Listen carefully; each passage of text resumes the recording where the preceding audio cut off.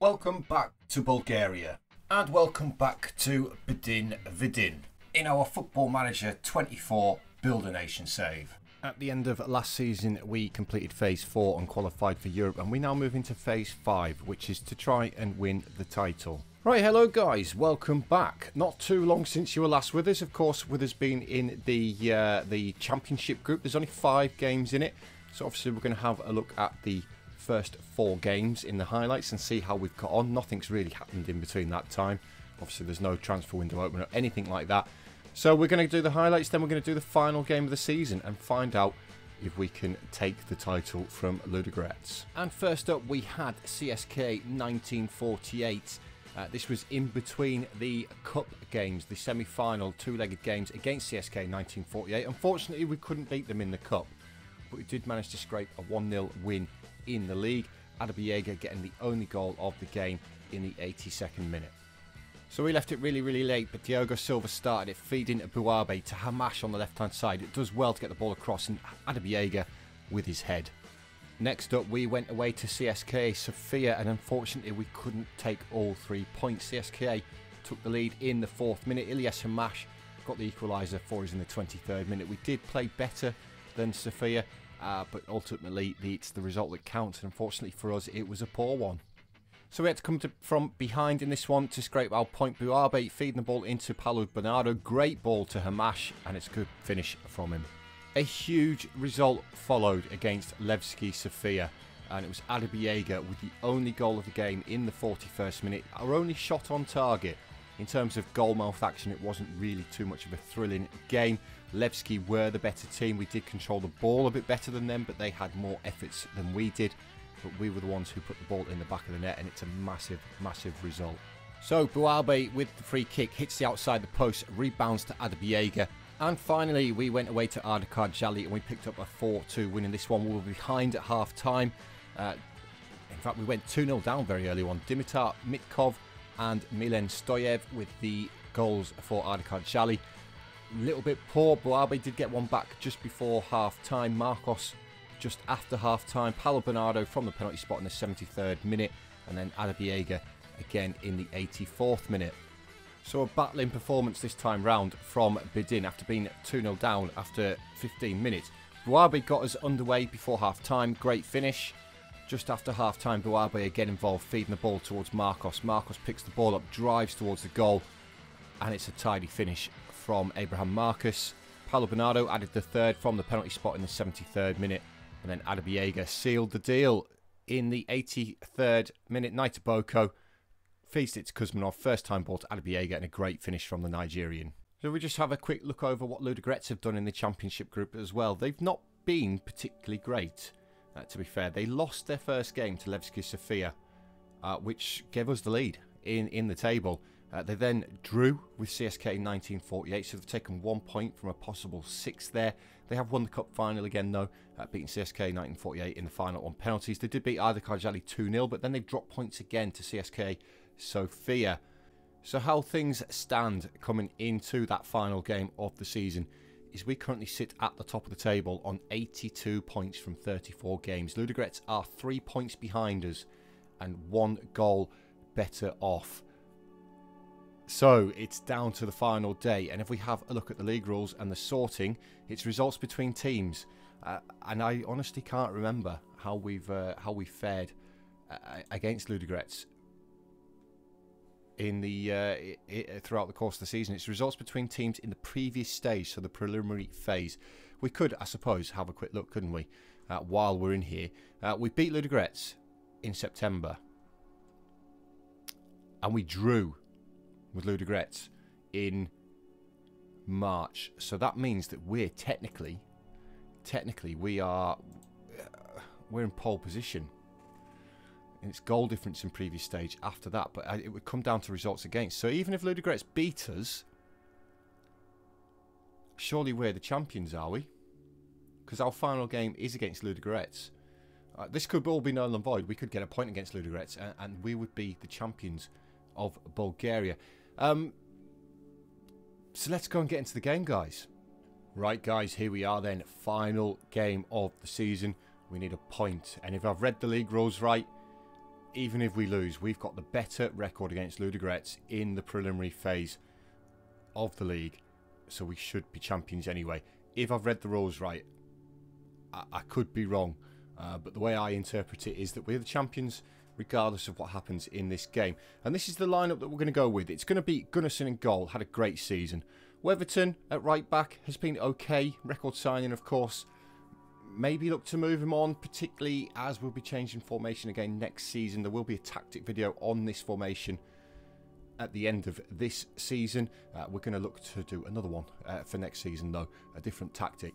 We have Tebow and Anastasopoulos as the two centre halves, with Zabala as the left fullback, Nitaboko as the defensive midfielder. We bring Bettini into the middle of the park today in place of Paulo Bernardo. There's a little bit of match fitness going on, but we're going to give Bettini a run out, little bit more defensive than Paulo Bernardo is, so hopefully that could help us out.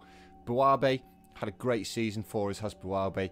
Uh, he's got 14 assists and 11 goals so far. Sirikos, our young Greek charge, who again is lacking match fitness, still recovering from his most recent injury, but 19 goals and 9 assists. Marcus on the left hand side, again, has done really, really well. And then it's our star man, Adabiega, on 33 goals for the season. So let's go and win the title, guys. So as we get the game underway, possibly the biggest game in Bdin's history. Of course, we've been in European competition. They're probably just as big, but this could be our first ever top flight title in Bulgaria for Bdin. Unfortunately, it's Ludogorets with the first highlight, and they've got the ball on the right hand side. It's Padilla with the ball into the box towards Good Johnson. Finds Ruiz. Ruiz has put the ball in the back of the net. Daniel Ruiz with his fourth goal of the season and with 12 minutes on the clock, guys, we are behind. Let's see what that actually does for the league table. If I'm right about the league rules, I, am still not sure if I am. Uh, and I don't think I am. I think we need the point because goal difference, they're going ahead of us. Which possibly means it's not sorting it right if, I, if I've read the league rules right. Because I, I, think of it, it says it's results against between teams. It's not sorting it right. That will be disappointing if that's the case. Uh, as we approach half time, we're going to give the boys a little bit of shout of encouragement. We're actually the favourites for this game, believe it or not, against Ludogorets. Uh, and we've not really had too much to go on this half. Ludogorets are playing much, much better. We need a huge second half. We just need a point, remember. Uh, Bettini is, I think, he's going to come off because he's not playing particularly great. It was a, it was a gamble uh, to stick Bettini in there instead of Paulo Bernardo. Uh, it doesn't look like it's paying off, so we'll get Paulo Bernardo in uh, for Bettini, uh, and hopefully go, go and grab, grab, grab a goal. We just need a point. And this could be it. Weatherton with a throw in on the right hand side, looking for Buabe. Headed clear, but Weatherton gets it back. Finds Paulo Bernardo. Comes back to Nitaboko. Back to Tebow. Tebow, Paulo Bernardo, the Portuguese. Nitaboko into Weatherton. Back to Tebow. Keeping the ball well here. Zabala.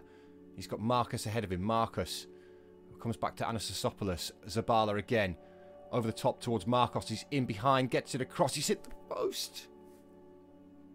He's hit the post. And Ludogorets managed to clear the ball. Half an hour remaining, guys. Adabi having a very poor game. But we get our second highlight. It's Marcus with the corner towards Nitaboko. Headed clear by Good Johnson, but Marcus gets it back. Gives it to Buabe. Marcus again. Nitaboko with the effort. It's woeful. Woeful from Nitaboko. Uh, we need to be better than that. 20 minutes remaining, guys. We're going to make a change. Adbiega and Sirikos are going to swap round. Adabiega can play as an attacker midfielder on the right, but he's not having any influence on the game up top. Hopefully Sirikos can have a little bit more influence. He has got 19 goals this season, remember, uh, has Klimis. As Weatherton looks to whip this corner in. No, it's just playing games with me. 15 minutes remaining. Um, I, I don't really know what to do. I don't know what to do. I still don't think the league rules are sorting properly. Uh, and if this is the way that we lose the title, then it's it's very, very disappointing. Let's go very attacking. Let's demand more. Um, let's let's opposition instructions. No. Oh, let's just go for it. Let's just go for it. Final couple of minutes, and we have been given a corner. It says Bedina piling the pressure on. We're into the first minute of four minutes added on. Weatherton to take this corner. Can he pick out a teammate at that near post? Uh, he can't. Good Johnson gets up and heads it clear again, and Ronald looks to bring it away. He's skipped past his man. Comes back to Piotrowski.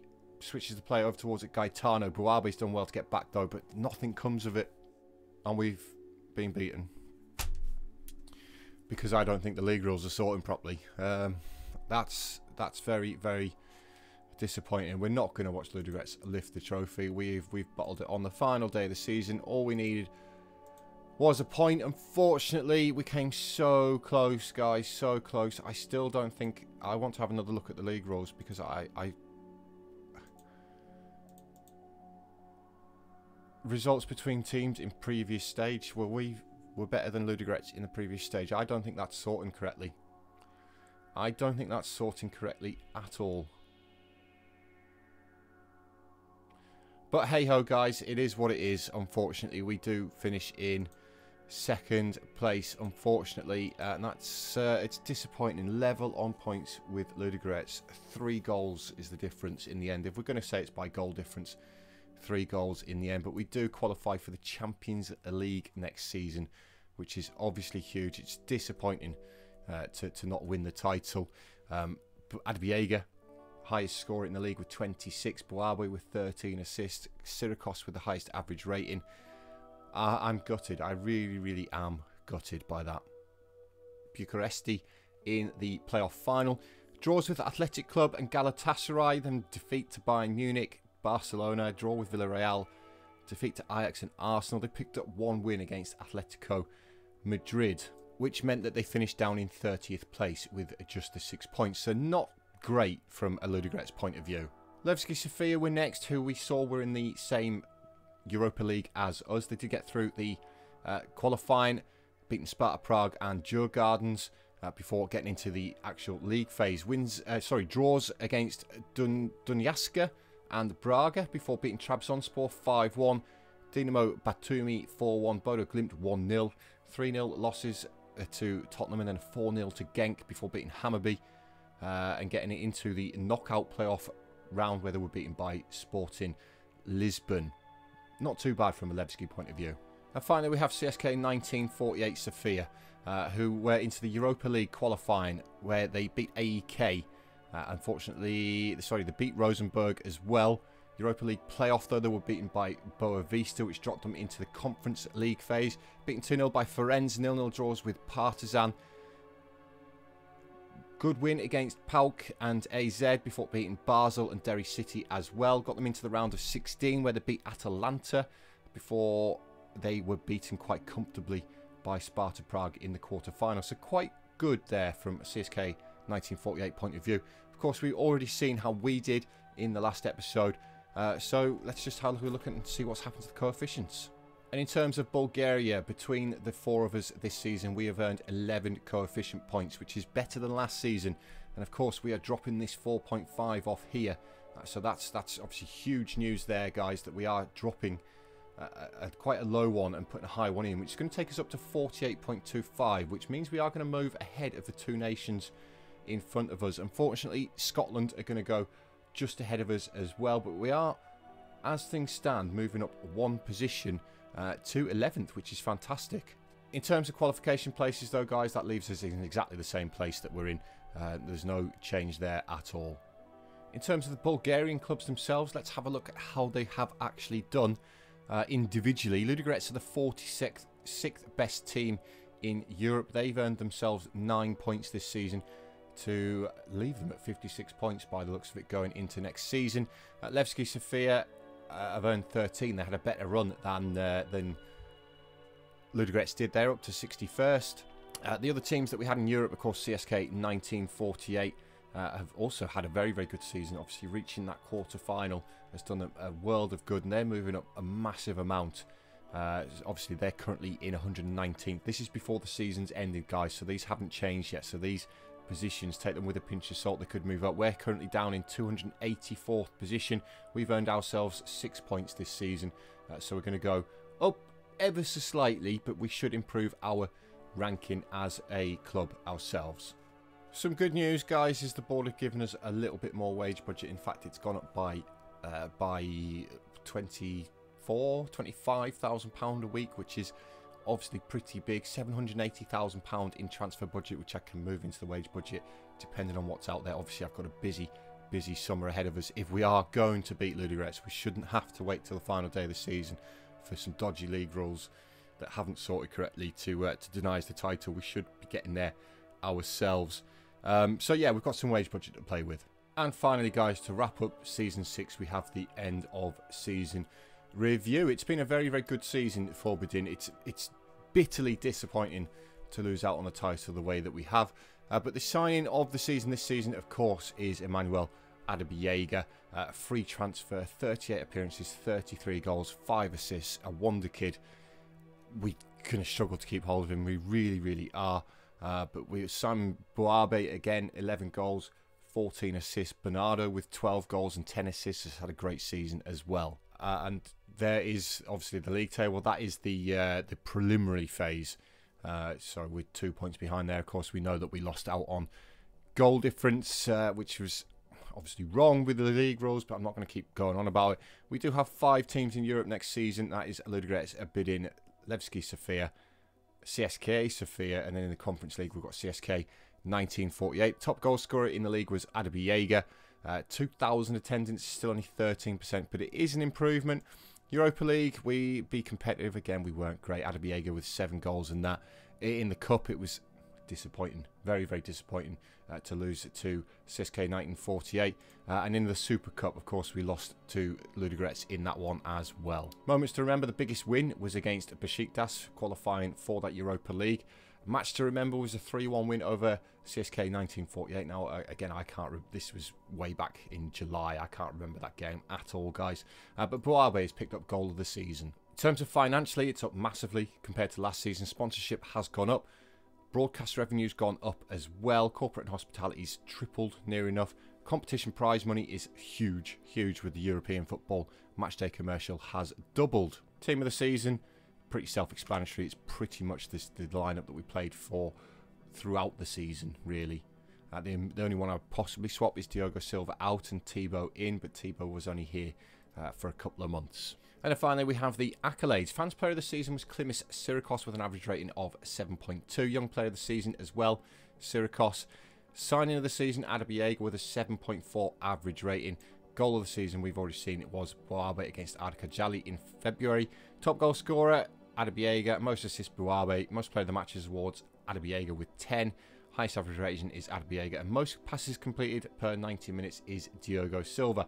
Record breakers, Adebuyega is now the highest scorer in the season, both in all competitions and in the league. He's also got the most goals in a match by a player at four, uh, and that was in a league match. Most assists is now a record for Simon Buabe. 10 player of the matches for Adebuyega. Weverton, we already know, was the record transfer. And the fastest goal time was Simon Buabe at 16 seconds. So that brings a close to season 6, guys. It has been another very successful season as far as Bdin are concerned. Very disappointing to lose out on the title the way that we did, but we'll be back next season uh, and hopefully we're going to improve the squad. Hopefully we can keep hold of Adebuyega. He's the big one uh, for us. If not, find a replacement for him. Of course, we do have a new tactic next season, which you'll see next season as well. So I've got some work to do in the summer. It's only a short summer here. My season starts again in around about a month's time with uh, with some pre-season friendlies before I find out what happens with the Champions League qualifying. Um, yeah, I've got some wage budget to play with. I've got 25k to play with, so hopefully I can make some improvements to the squad. Until next time, though, guys, I will see you in Season 7, where hopefully we're going to go and win the title. But uh, thank you for watching, guys. I'll see you later.